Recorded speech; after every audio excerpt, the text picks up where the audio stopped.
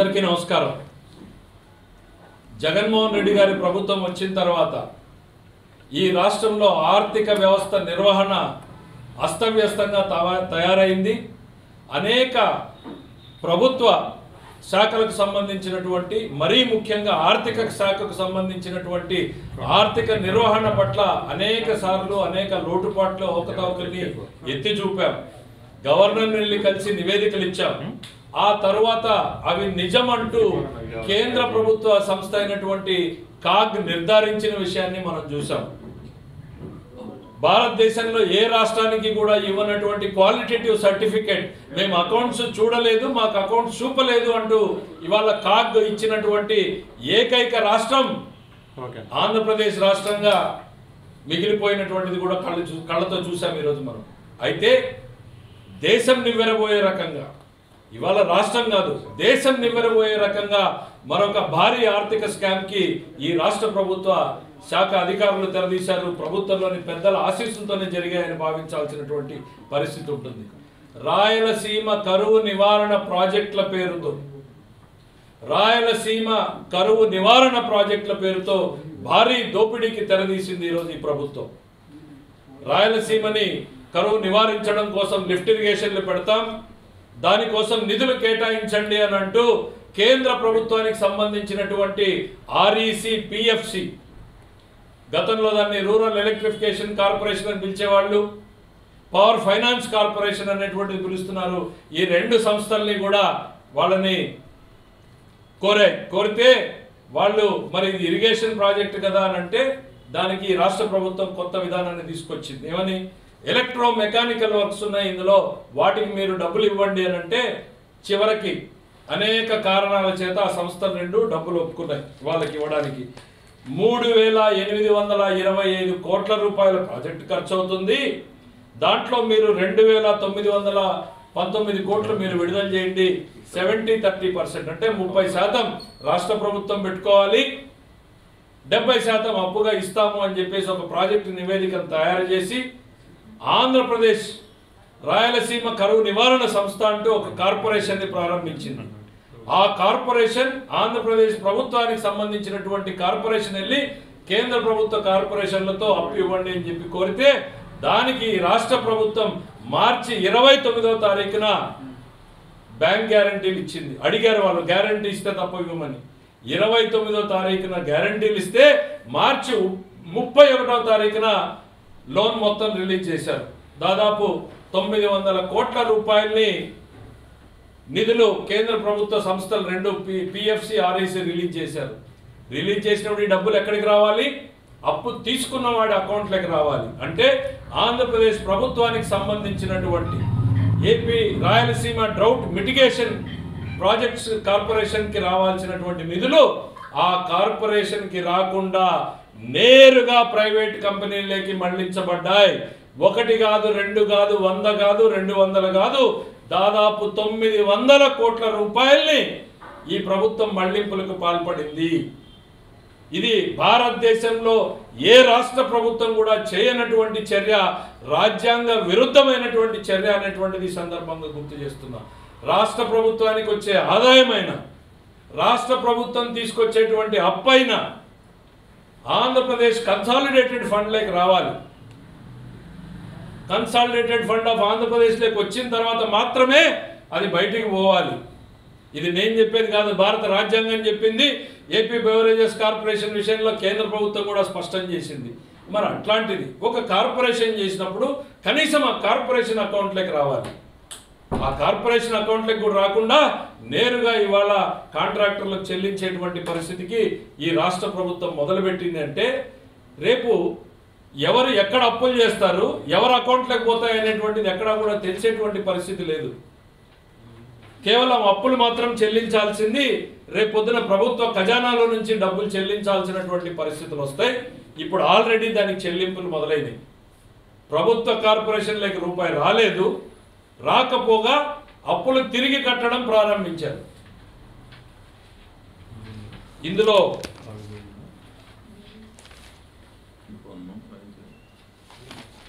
ఈ రాష్ట్ర ప్రభుత్వం తెరదీసినటువంటి భారీ స్కామ్లో పాత్రదారులు సూత్రధారులు వెలుగులోకి రావాల్సినటువంటి అవసరం ఉంది. దీంట్లో అప్పిచ్చినటువంటి ఆర్ఈసి పిఎఫ్సి కూడా ఇందులో బాధ్యులే. ఎందుకు అనంటే రెండు మూడు ఉదాహరణలు చెప్పదలుచుకున్నాను నేను ఈరోజు. ఈ ప్రభుత్వం లక్ష ఎనభై వేల రూపాయలు ఇచ్చి ఒక సామాన్యుడికి ఇల్లు కట్టించేటప్పుడు ప్రభుత్వం ఏం చేస్తుంది? అయ్యా నువ్వు పునాదులు తవ్వినప్పుడు ఆ గుంతల దగ్గర నువ్వు నిలబడి ఫోటో తీసుకో నీకు ముప్పై వేలు ఇస్తానంటుంది ఆ తర్వాత నువ్వు పునాదులు నిర్మాణం చెయ్యి మళ్ళీ ఇంకా నలభై వేలు ఇస్తానంటుంది ఆ తర్వాత రూఫ్ లెవెల్ వరకు తీసుకురా నువ్వు నిలబడి ఫోటో తీసుకో నీకు ఇంకో అరవై వేలు ఇస్తానంటుంది లక్ష ఎనభై వేలు సామాన్యుడికి ఖర్చు పెట్టడానికి ఫోటోలు సహా అడిగేటువంటి ఈ ప్రభుత్వం తొమ్మిది వందల కోట్ల రూపాయల బిల్లులో లేక నిధులు మళ్ళింపు జరిగేటప్పుడు మీరు చెప్పినటువంటి ఎలక్ట్రో మెకానికల్ వర్క్స్ జరిగాయా లేదా అక్కడ అనేటువంటిది రాష్ట్ర ప్రభుత్వం కానీ ఆర్ఈసీ కానీ పిఎఫ్సి కానీ నిర్ధారించుకున్నాయా అని నేను అడుగుతున్నా. ఇది అతి భారీ స్కామ్ కాదా అని నేను అడుగుతున్నా. ఇందులో పాత్రదారులు సూత్రధారులు అందరూ వెలుగులోకి రావాలి అని అంటే ఈ మొత్తం వ్యవహారం మీద సిబిఐ ఎంక్వైరీ జరగాల్సిందే. ఇందులో ఆర్ఈసి పిఎఫ్సి పాత్ర ఉంది రాష్ట్ర ప్రభుత్వానికి పాత్ర కూడా ఉంది. మొత్తం అందరి భాగస్వామ్యంతోనే ఇది జరిగింది. ఇంత పెద్ద భారీ స్కామ్ వెలుగులోకి రావాలి అని అంటే కేవలం సిబిఐ ఎంక్వైరీ ద్వారా మాత్రమే అది వెలుగులోకి వస్తాయి కాబట్టి ప్రభుత్వం తన నిజాయితీని నిరూపించుకోవడానికి సిబిఐ ఎంక్వైరీకి సిద్ధం కావాలి అని నేను డిమాండ్ చేస్తున్నాను థ్యాంక్ యూ ఇందులో రెండు రకాలు. ఒకటి పనులు జరిగి నేరుగా వాళ్ళకి ఇచ్చేయడం అన్నది ఒక తప్పు. అలా ఇచ్చుంటే. అసలు పనుగా పనులే జరగకుండా ఇచ్చుంటే ఇంకా పెద్ద ఘోరం కదా. ఇందులో మీరు ఏం జరిగిందంటారు? రెండు జరిగాయా? ఒకటి జరిగిందా? నేను చాలా మీరు అడుగుతున్నారు అసలు పనులే జరిగాయా లేదా అనేటువంటిది. ఇది ఒక రోజుతో అయిపోయే సబ్జెక్ట్ అని నేను అనుకోవడం లేదు. ప్రభుత్వం దీని మీద ఏం వివరణ ఇస్తుందో వెయిట్ చేసి చూస్తాం. పవర్ ఫైనాన్స్ కార్పొరేషన్ ఇచ్చినటువంటిది క్లియర్గా సెవెంటీ థర్టీ ముప్పై పర్సెంట్ రాష్ట్ర ప్రభుత్వ కార్పొరేషన్ ఖర్చు పెట్టిందా లేదా వాళ్ళు వెరిఫై చేసుకుని తర్వాత రిలీజ్ చేయాలి. వాళ్ళు లోన్ ఇచ్చింది ఎలక్ట్రో మెకానికల్ వర్క్స్కి. ఎలక్ట్రో మెకానికల్ వర్క్స్ జరిగాయా లేదా అనేటువంటిది వీళ్ళు నిర్ధారించాలి వాళ్ళు నిర్ధారించుకొని రిలీజ్ చేయాలి. చేశారా లేదా రాష్ట్ర ప్రభుత్వం చెప్పాలి. ఇవి చేసిన నేరుగా ప్రభుత్వ కార్పొరేషన్లకు రావాల్సినటువంటి డబ్బుని ప్రైవేట్ కంపెనీలకు ఎట్లా మళ్ళించారు ఈ రకంగా అయితే ఎవరు ఎక్కడ అప్పులు చేస్తున్నారో కూడా ఈ- ఈ- దేశంలో ఎవరు కనిపెట్టలేదు. కేవలం అప్పులు చెల్లించుకుంటూ పోతుంటాయి తప్ప రూపాయి ఖర్చు పెట్టాలంటే శాసనసభ అనుమతితో జరగాలి అన్నటువంటిది బేసిక్ ప్రిన్సిపల్. మీరు బ్యాంక్ గ్యారంటీ ఎప్పుడైతే ఇచ్చారో ఆ బ్యాంక్ గ్యారంటీకి శాసనసభ అనుమతి రావాల్సిందే. ఆ తద్వారా ఆ అకౌంట్స్ నిర్వహణని కూడా శాసన సభ పర్యవేక్షణలో జరగాల్సిందే. చాలా ఇందులో చాలా లోటుపాట్లు ఉన్నాయి ముందు ప్రభుత్వం స్పందన ఏమొస్తుందో వెయిట్ చేస్తాం. అనేక ఇందులో నేను చెప్పినట్టు ఫస్ట్ది మాత్రం చెప్పాను నేను. ప్రభుత్వానికి రావాల్సినటువంటి నిధుల్ని నేరుగా ప్రైవేటు కంపెనీలకి మళ్ళించారు. దీంతో పాటు అనేక అక్రమాలు ఇందులో జరిగాయి. ఇందులో అందరూ భాగస్వాములు అయ్యారు ఈ భారీ ఆర్థిక కుట్ర వెనకాల లోతులు తెలియాలి నిజాలు వెలుగులోకి రావాలి అని అంటే సిబిఐ ఎంక్వైరీ జరగాలి. పిఎఫ్సి కావచ్చు ఈ రూరల్ ఎలక్ట్రిసిటీ కార్పొరేషన్ కావచ్చు ఎట్లా అప్పు ఇవ్వాలంటే అంటే మీరు చెప్పారు ఏది డ్రౌట్ సంబంధించి దాంట్లో ఎలక్ట్రిసిటీ వర్క్ సంబంధం లేదు అక్కడ. అంత అప్పు వీళ్ళకి ఇస్తున్నారంటే ఏదో బలమైన శక్తులు వీళ్ళు వెనక ఉండి ఉంటాయి కదా. కేంద్ర ప్రభుత్వం అధీనంలో ఆ సంవత్సరం ఉంటాయి. ఎట్లా ఇంత అప్పు ఎట్లా ఇవ్వగలిగారు? అసలు మీరు చెప్పిన దాని ప్రకారం ఎలక్ట్రిసిటీ వర్కే లేదు దాంట్లో. మీకు మీకు ఫస్ట్ ఈ జీవో కాపీలు మీకు ఇస్తున్నా ఫస్ట్ పారాగ్రాఫ్ మాత్రం చదివి వినిపిస్తాను in the reference first right first read above REC have sanction an amount of four thousand two hundred and forty five crores to Andhra Pradesh Rayalaseema drought mitigation development corporation limited with an interest of ten point seven five చాలా highest interest on the first year reset monthly reset basis for execution of electromechanical works and transmission works బ్రాకెట్లో substations and lines and associated civil works of rails ఇవి జరిగాయా లేదా? అది ఒక aspect అసలు నా నా ప్రధానమైన డిమాండ్ ఇవాళ ప్రభుత్వ ఖజానాలోకి రావాల్సింది ప్రభుత్వ కార్పొరేషన్లోకి రావాల్సింది మీరు ప్రైవేట్ కంపెనీలోకి ఎట్లా పంపించారు? దానికి ప్రభుత్వం సమాధానం చెప్పాలి కదా. రేపు పొద్దున ఏముంది? నేను ప్రైవేట్ కంపెనీ పెడతాను గవర్నమెంట్తో ఒక కాంట్రాక్ట్ చేస్తాను నేరుగా నా అకౌంట్లోకి వస్తాయి. ఇప్పుడు రెస్పాన్సిబిలిటీ ఎక్కడుంది? ఖచ్చితంగా ఉంది కదా పిఎఫ్సికి ఇప్పుడు నేను అదే అడిగింది. గవర్నమెంట్ ఒక రూపాయి ఇవ్వాలంటే సామాన్యుని ఫోటోలు తీసుకుని అది కూడా వాడు ఎక్కడో ఫోటోలు పెడితే కుదరదు. జీపీఎస్ బేస్డ్ అంటున్నారు. వాడు సైట్లోకి వెళ్ళి నిలబడి ఫోటో తీసి పెడితే తప్ప ముప్పై వేల రూపాయలు సామాన్యుడికి ఇవ్వడం లేదు ఈరోజు.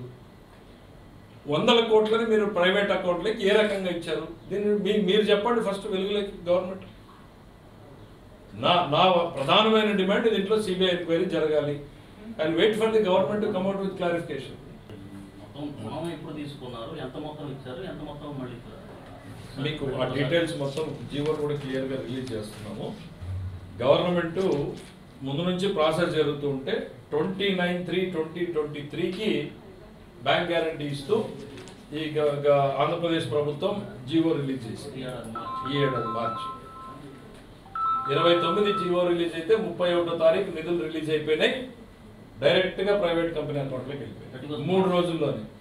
కరెక్ట్గా చెప్పాలంటే రెండు రోజుల్లోనే.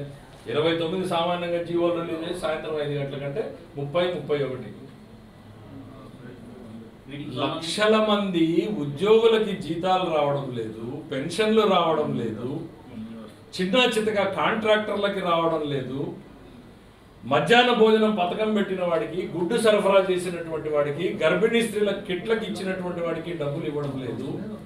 నేరుగా మీకు కావాల్సిన వాళ్ళ అకౌంట్లోకి నేరుగా వెళ్ళిపోతుంది. విచ్ ఇస్ అగేన్స్ట్ కాన్స్టిట్యూషన్ ఇది రాజ్యాంగ విరుద్ధం.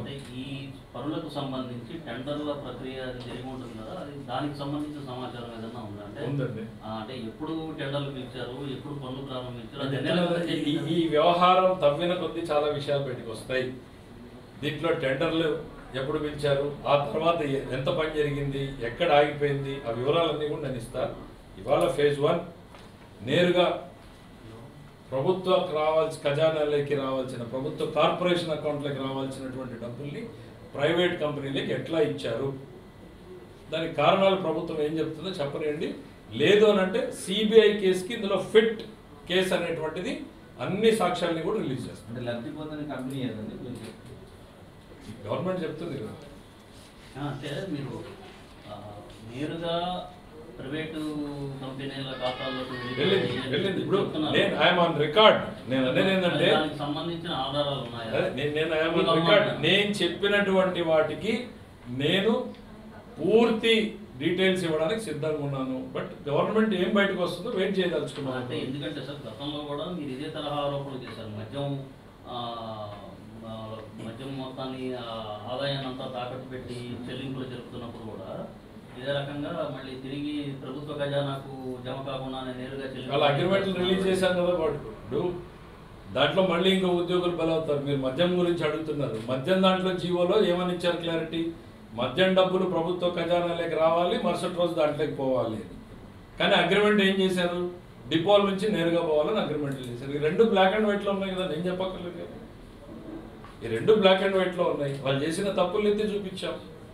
కేంద్ర ప్రభుత్వం దాని మీద సుదీర్ఘంగా చర్చ జరిగింది. ఇవాళ నేను గతంలో మీరు ఇదే తరహా ఆరోపణ చేశారు. ప్రభుత్వ ఆ, గవర్నమెంట్ ఎక్స్చెక్టర్కి రాకుండా నేరుగా వెళ్ళిపోతున్నాయి అనేది గతంలో మీరు చేసిన ఆరోపణ. అగ్రిమెంట్ అదే అదే గతంలో మీరు చేసిన ఆరోపణ అగ్రిమెంట్ కూడా అలా చేస్తున్నారని చెప్తున్నారు. సో ఆ తప్పుని అది తప్పు అని మీరు ఎస్టాబ్లిష్ చేసే ప్రయత్నం చేస్తున్నప్పుడు మళ్ళీ మరొకసారి అదే తరహా అంటే అక్కడైనా అర్థం చేసుకోగలం. కనీసం ఏంటంటే గవర్నమెంట్ బ్యాంక్ అని. తీసుకున్నవాడు అకౌంట్లోకి వచ్చి వాడు తీసుకున్న అప్పుకు వాడు కడుతున్నాడు అని మనం అనుకున్నా కూడా బాగుంది. కానీ ఇక్కడ అప్పు తీసుకున్న దగ్గర డబ్బు పోయింది ఇంకో అకౌంట్లోకి ఇది ఇంకా ఘోరం. ఇది మరీ తీవ్రమైనటువంటి నేరంగా భావించాల్సినటువంటి పరిస్థితి. తప్పకుండా future further course of action ఇట్లా చాలా ఉంటుంది. ఉండకుండా ఇవాళ మీరు అన్ని ఎగ్జామ్స్ చేస్తే let let government come out with details let government come out ఇది ఈ ఇచ్చినటువంటి జియో మార్చి ఇరవై తొమ్మిదిన రిలీజ్ చేశారు. ముప్పై ఒకటిన వీళ్ళ అకౌంట్లకు రావాల్సింది నేరుగా బయటకు పోయింది సో ఇవన్నీ డీటెయిల్స్ గవర్నమెంట్ ఏమేమి రిలీజ్ చేస్తుందో చేసిన తర్వాత మళ్ళీ స్పందిస్తారు. Thank you